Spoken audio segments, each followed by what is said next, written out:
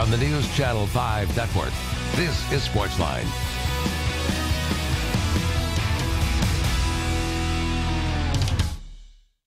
All right, everybody, welcome to Sportsline. John Burton with you for the next hour. Great to be with you. Certainly, on a day like this, sports seems rather insignificant. Uh, certainly, when you consider what happened with the uh, Antioch shooting at the movie theater. Again, thankfully, uh, the suspect was taken care of, and uh, certainly, thankfully, uh, there were no serious injuries. So, uh, we certainly are grateful tonight on a night like this, but uh, a lot to get to in the world of sports. In just a couple of minutes, we expect to be joined by John Glennon of the Tennessean uh, to get his thoughts on today's Titans practice, a practice that head coach Ken Whisenhunt said was rather sluggish today.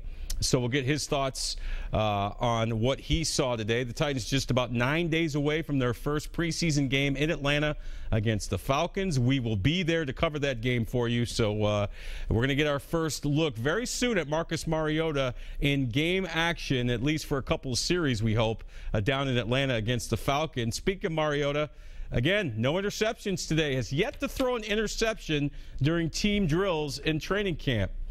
Now, here's the thing about that. And you can call, if you'd like, 615 737 7767. That's great. That really is great. But when you're a guy like me who last year predicted the Titans would go 10 and 6, they went 2 and 14, who a couple of years ago predicted that Jake Locker would be a franchise uh, playoff quarterback, he's gone. A guy who's made several bold predictions in regard to the Tennessee Titans that have not come true. Forgive me if I reserve judgment until I see him play in a in game like action. But so far, the uh, the grades have been great on Marcus Mariota. He's a hard worker. He's looked good in practice. But again, I want to see what he does in games before I make any bold Titans predictions. Maybe you feel otherwise. Maybe you've been to practice, a couple of training camp practices so far, and uh, have gotten a favorable impression of him. If that's the case, I want to hear from you, 615 737 7767. But first, we're going to hear from our good buddy John Glennon of the Tennessean. Johnny, how are you tonight? Doing well, man. How are you, sir? Oh man, we're doing all right. All right, John. Uh, you know the biggest one of the biggest stories in camp is Marcus Mariota. He's impressed the coaches. He's he's impressed us in the media. He hasn't thrown an interception yet. I was just saying before you came on. You know, I've made a lot of bold predictions when it comes to the Tennessee Titans over the years. None of them have come, uh, come true. I, I, said Jake Locker would be a franchise quarterback and would lead the Titans to the playoffs, perhaps a Super Bowl. He's gone. I said this team would go uh, 10 and 6 last year. They went 2 and 14. So I'm going to reserve judgment until I see Marcus Mariota actually play in an NFL game. But still, you've been at every practice. You've watched this guy. Uh, he's looked pretty impressive, hasn't he?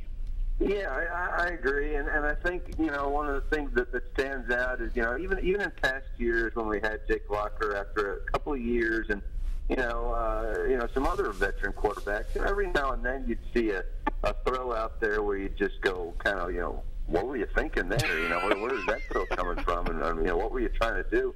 And you know, we really haven't seen that from from Marcus Mariota at all. You know, uh, not only that he hasn't thrown an interception in the in the first five days of camp, but he really hasn't come close.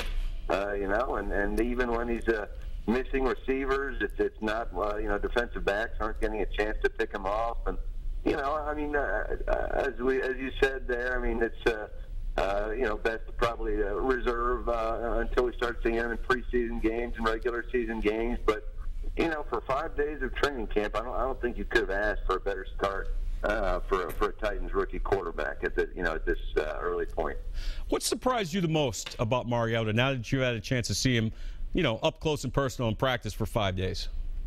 You know, I, I think coming in, you know, you know, I, I'd seen him play, of course, a few games last year. I think we all had, and and uh, you know, I, I certainly knew he was the, uh, the great athlete. Everybody knew he was a great athlete, but to me, I, I think the uh, the accuracy uh, that he's shown, um, you know, and and and as I, as I say, also. Uh, you know, just the smarts you see out there. He, he uh, you know, for a rookie quarterback, especially, seems to really be poised and, and calm and, and know what he's doing out there. Uh, you know, and, and we don't see him, you know, a, a lot of guys with the, that scrambling kind of or that athletic background, you know, they, they take off so quickly, uh, you know, especially early in their careers when, when nothing's going on. He, really hasn't done, done that. You know, we've seen him, uh, you know, take off a couple of times, but more often than not, he, uh, he'll move around in the pocket a little bit and he'll, uh, he'll, uh, you know, move outside the pocket, but he won't take off. He'll, he'll look for uh, receivers downfield. John Glennon of the Tennessean covers the Titans. He, uh, he, is our guest right here on Sportsline. Appreciate having you on, Johnny. All right, Ken Whisenhunt calling today's practice a little sluggish, full pads. Uh, in the morning on a warm, muggy day here in Middle Tennessee after a day off. Uh, but Ken Whisenhunt seemed to kind of shrug that off because this is what uh, the players and the owners collectively bargained for. You're going to get days off after so many days in camp, and the chances are guys aren't going to come in as fresh. Uh, what did you see from practice today overall? Yeah, you know, I, I thought it was a, it was a, a decent practice, um, but um, I, I would uh, I would agree it's, it's a tough thing. You know, I, I think a lot of times, and I mean, you see this in, in hockey too. It's uh, uh, it's players that they almost have to pay for having a day off sometimes. You know, mm-hmm. it's like uh, you're going to get your day off, but but uh, you better not get too crazy because we're going to bring you in here, uh, you know, right away, nine o'clock practice. Um, and, and as you said this morning when they got out there, it was brutally hot. You know, I think that was probably seemed to me the hottest part of the day. Um, and and I think that uh, that that wore on some guys a little bit out there, but you know, I, I didn't think it was a, an especially uh, sloppy practice. I, I, didn't, I didn't think it was awful by by any stretch. Um, you know, and and uh, I think it was interesting too that uh, we had our, kind of our first live plays. You know, tackling to the ground. We had one session of those late in practice, and, that, and that's you know Ken wasn't obviously had that by design. You know, not only was it uh, a, a tough practice, early morning hot, but he waited until late in the practice to have those live uh, plays, whether it was tackling to the ground, kind of get an idea of hey, who's uh, who's still with me at this point, and who's gonna who's gonna stand out in these live uh, uh, live tackling drills. John, uh, there's obviously a lot of key areas for the Tennessee Titans this year. One of the one of the areas I've kind of pinpointed is the interior of the offensive line. Talking about Brian Schwenke at center and Chance Warmack and Andy Levitre at the two guards. You know, when you have a rookie quarterback, and you know this, you've watched enough football. It's important to get a running game going. You know, shorten the down and distance, keep the third downs manageable. This is a group that's been together for three years, but I really think I don't want to say it's a make or break year for that group, and I know it takes all five O linemen uh, to make a running game work, as well as the tight ends and the receivers. But I look at those three guys; they've got to get a better push consistently off the line of scrimmage, and they've got to. The Titans have to get this running game going, eh, especially with a rookie quarterback in there to kind of make life easier for them. Don't you agree? Yeah, no, I think uh, Ken Whisenhunt had kind of an interesting response when, when you asked him about that today. Uh, you know, he said that one thing he's seeing more from those guys is that they're uh, more they're they're headed down the field more often during during running plays. They're more often around the pile at the end. You know, they're they're being a little bit more uh, aggressive, and that's something that he uh, he'd like to see. You know, I, I think there's a lot of uh, upside in those guys, and and certainly Chance Warmack, especially the second half of last year really seemed to uh, to, to get it. You know, uh, the second half of his uh, second season really seemed to, to lock in, and and uh, you know I, I think the future is bright for him. I still think Brian Schwenke has some you know good potential. Uh, you know, if he can just stay healthy, and that's that's been very difficult for him in his, in his first couple of seasons. Um, and and Andy Levitre, of course, this is the first time that he hasn't really had off-season surgery since he's been with the Titans. So uh, it's, that's a good sign for him. You know, and, and really because of the injuries to Schwenke and Levitre, they haven't really had a whole lot of training camp work and off-season work together. Um, you know, over the last couple of years, and so maybe you know if, if they do stay healthy as as, uh, as they have so far, maybe that's really going to help with the consistency and chemistry. Because yeah, as you say, those those guys are going to be uh, key to, to some of the uh, the running game.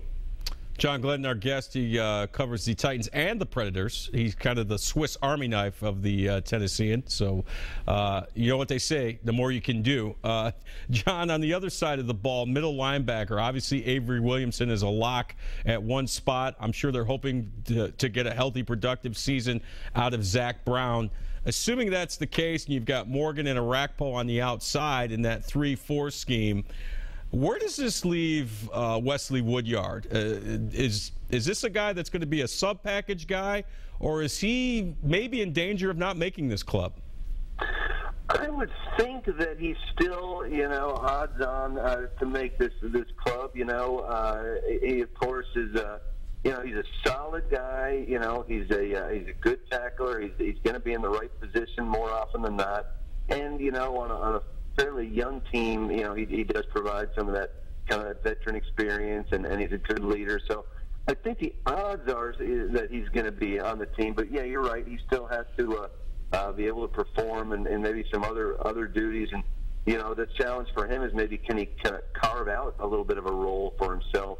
Uh, you know, yeah, like you say, sort of a, a sub package. You know, uh, still still remains to be seen what it is, but he has to uh, to show. I think that he that he's more than just a um, you know the, a back a straight backup linebacker at this uh, uh, at this point, but I still think you know he, he does bring uh, uh, value to this team. So I, I, I think in the end he uh, he still winds up on the roster. As we wrap up here, John, uh, give me one player that uh, maybe surprised you a little a little bit uh, as we've gone through the first almost week of training camp. Well, I'm probably not the the, the first to, to say it, but I, you know I, I wrote the other day that I, I've really been impressed with Hakeem Nicks. Um, you know, he's a guy who has kind of been kind of downhill about the last two or three seasons, and numbers been fading, and, and he didn't have uh, you know great numbers with the Colts last year, which you figure is a great place to have good numbers for a receiver. But you know, he's been running with the first team a lot uh, in the off season and training camp so far, and and uh, you know, good catches.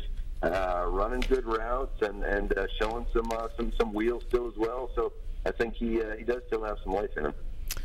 John, we appreciate the time. You know the uh, UFC fighters that were at practice this morning. I do, yeah. Yeah, I got them on as guests. We're coming. Uh, we're coming back with them uh, coming up next. So uh, sure. I wish you were here in studio because that way, if you gave me any trouble, I would have backup. So I, I was going to say, with your background as a, as a heel and a, in a road, uh, you know, we, we, could expect some interesting things. So I'll be uh, I'll be sure to uh, to listen into this. to the next portion here. John, we appreciate the time as always. Great job covering the Titans. We'll talk to you down the road. Okay, thanks, John. All right, that's the great John Glennon covering the Tennessee Titans and the Nashville Predators. He does it all for the uh, Tennessean giving us his thoughts. As the Titans, uh, a week and change away from their first preseason game against the Atlanta Falcons in Atlanta. Uh, that should be a lot of fun. A week from Friday, I believe, is that first game. All right, when we come back, we're going to switch gears. We got UFC Fight Night coming up this weekend at Bridgestone Arena. Ovince St. Preux, the former uh, UT defensive end, and Dustin Ortiz out of Franklin are going to join us here in studio. We're talking MMA fighting. Philip, I hope you call up and give me some some uh, some guff so I can get these guys after you. Anyway, we're back after this. Stay with us.